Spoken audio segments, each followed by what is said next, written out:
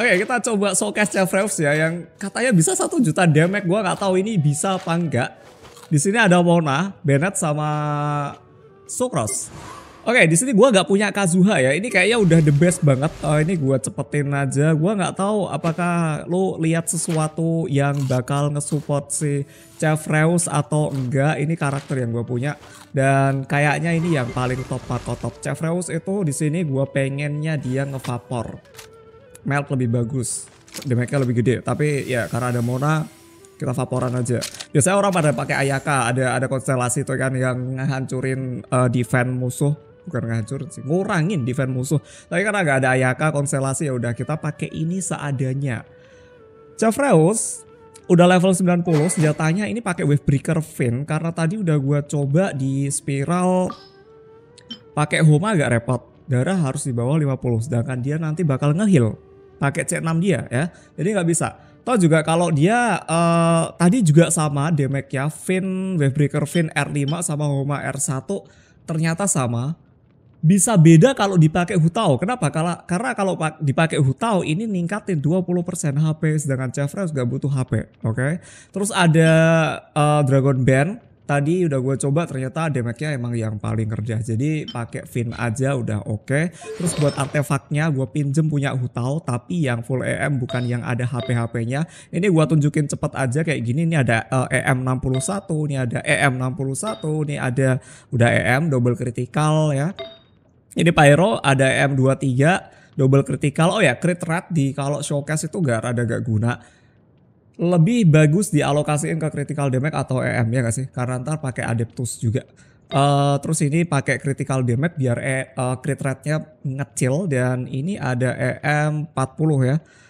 Terus ada attack 14,6% itu attack persen itu kalau kita main vapor itu tetap kepake tapi nambahnya dikit banget.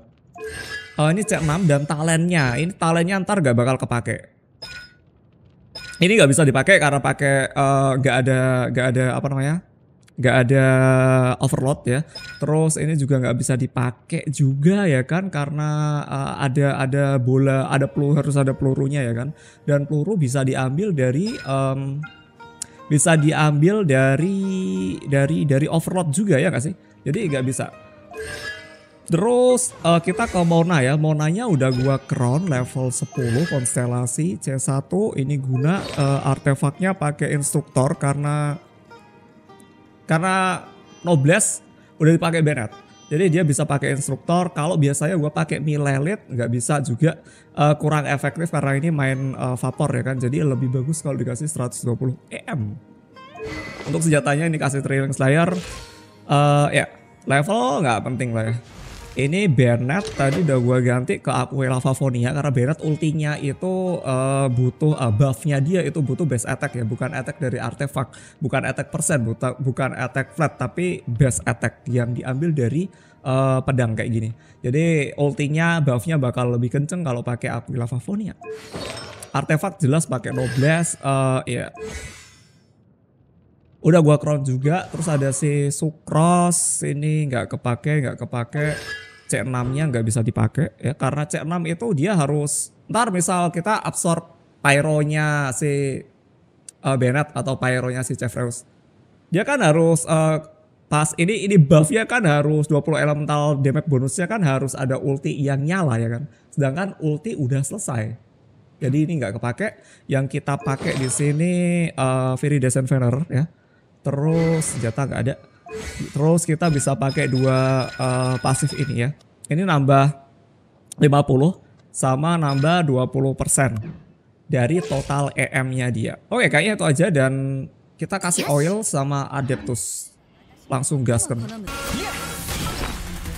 Nah, ini dia. Kita kasih oil. Kita kasih adeptus mana? Hah, ini dia. Oke. Okay. Uh, eh, gimana nih? Bennett dulu ya, Bennett dulu. Bennett pakai skill. Semoga pas. Gua nggak tahu itu kenapa enggak, ya. Gua nggak tahu itu kenapa enggak.